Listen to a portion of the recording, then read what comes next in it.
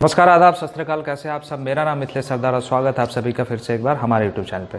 आज हम एक वर्कआउट वीडियो करने वाले हैं जो कि एक हैमर कर्ल है। हैमर कर्ल के लिए आपने अक्सर डंबल का यूज़ करता है, जो कि डंबल को आप इस तरीके से परफॉर्म करते हैं। तो उसी एक्सरसाइज का आज मैं एक आपको ऑल्टरनेट बताऊँगा, जो कि आप इसको रड से परफॉर्म कर सकते हो। इसमें आपको रड के लिए कोई सा भी रड आई थिंक आपके जिम में अवेलेबल होगा। मैं बेसिकली यूज़ करता हूँ ये ओलंपिक रड तो आइए, चलिए वीडियो को शुरू करते हैं। देखिए, सबसे पहले तो आपका जो ग्रिप होगा, इस तरीके से आप ग्रिप लोगे, जो भी आपका, जब आप नॉर्मल जो ये बारबल कर लगाते हो बाइसेप के लिए, ठीक है? वही वाला ग्रिप लेना है, लेकिन इसमें आपको रिवर्स पकड़ना है। इस तरीके से पकड़ना है, ठीक है? और इस तरीके से बॉडी ये आपका जो शोल्डर होगा, उसको बिल्कुल लॉक करोगे। इसमें इसी तरीके से परफॉर्म करोगे। ये यहाँ तक आओगे, जो आपका चेस्ट का जो लोअर पार्ट होगा, यहाँ तक आओगे, फिर वापस जाओगे। यहाँ तक आओगे फिर वापस आओगे। इसमें बच्चे गलती क्या करते हैं कि ये इस तरीके से इसको थोड़ा सा ऊपर की ओर लेके आते हैं, इस तरीके से। ठीक है?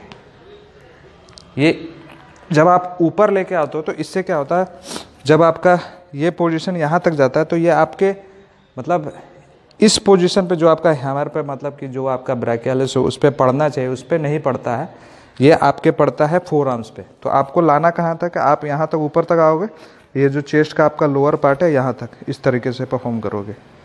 और रिस्ट का आपका ध्यान देखो, काफ़ी बच्चों को मैंने ये शिकायत करते देखा है कि जब भी वो एक्सरसाइज कर रहे होते हैं तो वो इस तरीके से रिस्ट को मोड़ते हैं, इस तरीके से रोटेट करते हैं, इस तरीके से।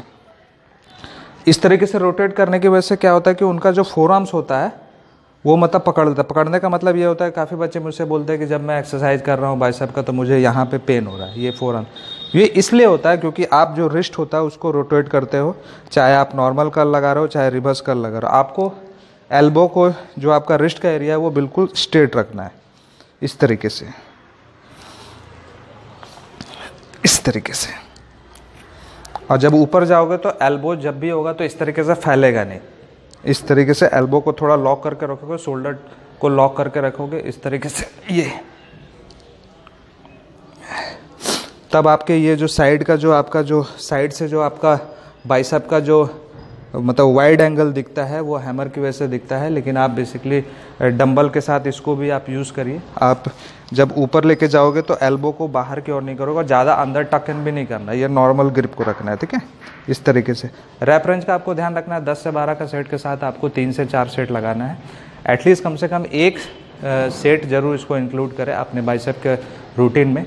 हमारी आज की वीडियो आई होप आपको पसंद आया होगा। अब आपको समझ में आ गया होगा कि हैमर कर के लिए एक और अल्टरनेट एक्सरसाइज है जो कि ये बारबल रिवर्स कल इसको भी आप परफॉर्म करके देखिए और अपनी जो भी एक्सपीरियंस है उसको नीचे कमेंट बॉक्स में ज़रूर शेयर करिए। और फिर भी इस वीडियो से रिलेटेड कोई भी क्वेश्चन हो, कोई भी सजेशन हो तो प्लीज़ नीचे कमेंट सेक्शन में ज़रूर लिखिएगा। और अगर मेरे चैनल पर नए हो तो प्लीज़ सब्सक्राइब करके बेल आइकन को ज़रूर दबाइएगा, जिससे मेरी आने वाली वीडियो की नोटिफिकेशन आपको टाइम टू टाइम मिलते रहे। तब तक के लिए जय हिंद, मिलते हैं अगली वीडियो में। नमस्कार।